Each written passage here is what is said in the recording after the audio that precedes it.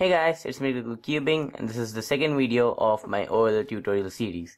And in this video, we are going to take a look at the WOLL case. So WOLL case looks like this where you have this Tetris block and a corner. So again a Tetris block and a corner. And when I see this case, I will always look at this corner. And as there are only two W cases, recognition is very very simple.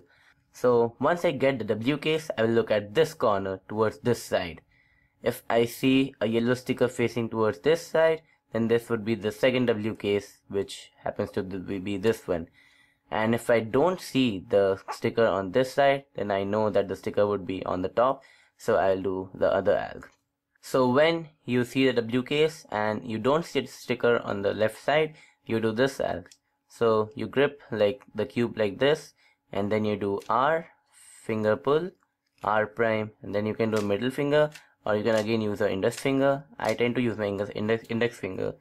Then you do an U prime U R U prime R prime U prime R prime F R F prime. Next if you see the W case and you also see the sticker on the left side you do an U prime and then you do R prime U prime R u prime.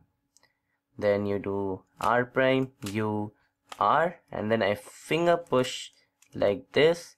And then you do a sledgehammer at the back. So at this point I normally Q rotate like this so that I have the U layer on the top uh, I have the U layer so I can use U moves. And then I do R U prime R prime U prime. So a quick recap. You see the W case and you see this corner.